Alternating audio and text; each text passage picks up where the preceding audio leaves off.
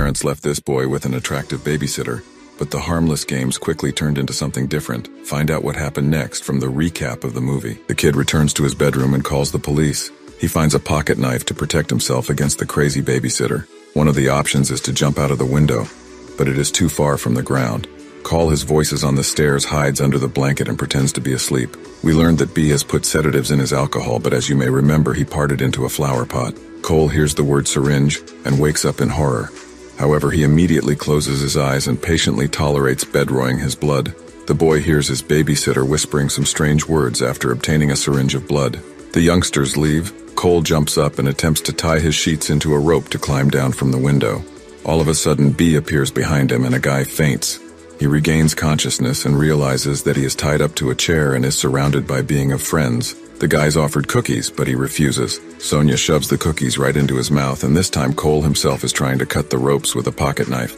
However, the youngsters notice it and laugh merrily. They untied a boy and lied that they needed his blood for a science project. Suddenly, the police show up and the teen starts panicking. Cole yells help and immediately finds himself on the floor along with his chair. The police break into the house, but Max instantly takes the life of one of them. The second one shoots, which makes Allison hit the wall. The officer is attacked by B, thus the cops are gone. However, there is a wounded Allison who is screaming loudly and complaining that she has been shot in the chest. Seizing the moment, Cole escapes to the second floor. John chases him but slips on the toy car and falls down the stairs. So John is also gone.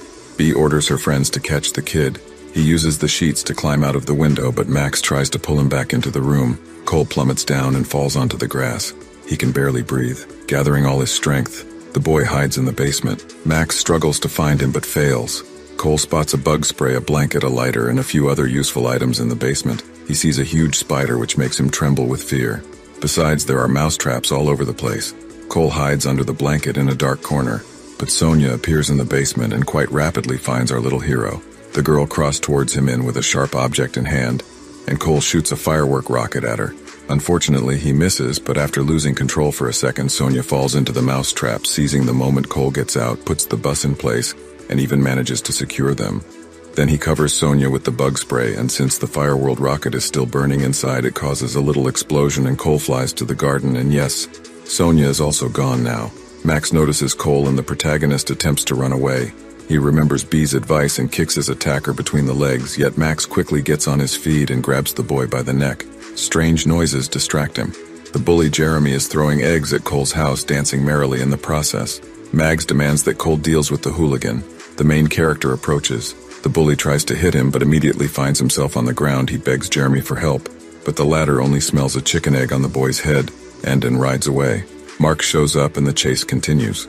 Cole climbs into his treehouse, but Max catches up with him even there. He wipes the York from the kid's face, and at that moment a free branch breaks and they fall to the ground. Except there was a rope hanging from the tree and it ended up around Max's neck. Okay, the tough guy is also gone. Cole runs to his friend Melanie, but B follows him. He explains to Melanie what happened to him, and the two hide in the girls' room together. He enters the house holding a gun, and tracks go down. Our protagonist apologizes to Melanie for involving her in this nightmare. He promises to make things right and asks her to call the police.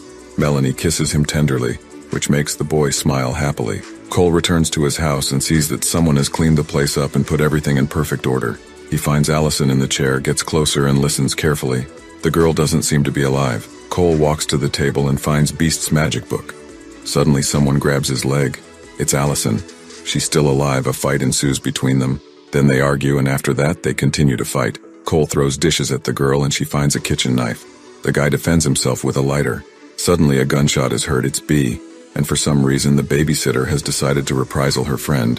B explains to Cole that she has made a pact with the devil, so now she must sacrifice innocent people to spill their blood on the book she once called to join her cult. But he refuses and burns the book while B is struggling to save the book from the fire. Our hero starts Melanie's father's car and accelerates, but something goes wrong. The car flips over and literally flies into the house, eventually hitting B. Cole crawls out of the car and realizes that his house is practically destroyed. He finds the injured B and confesses his love.